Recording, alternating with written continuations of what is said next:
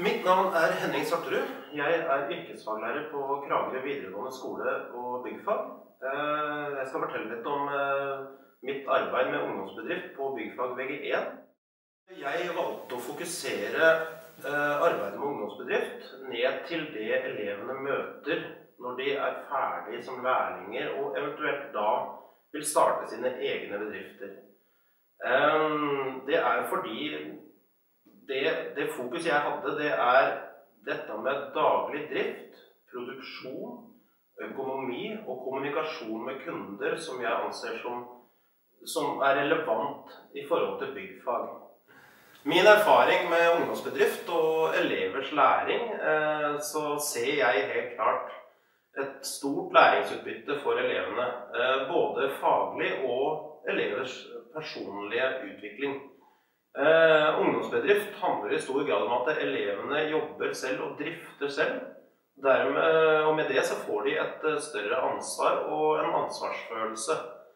Eh, det er eh, veldig, veldig bra i forhold til når de skal ut i arbeidslivet og forståelsen av hvordan arbeidslivet fungerer.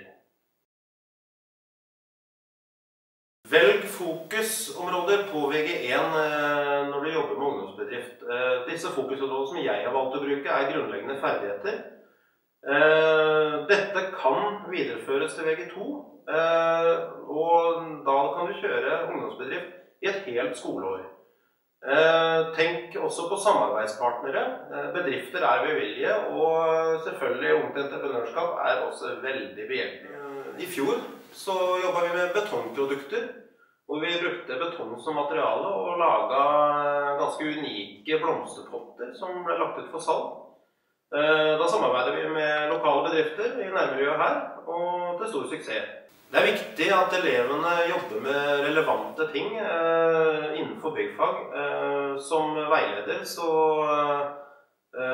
hadde jeg klare retningslinjer på hva slags materialer elevene skulle jobbe med.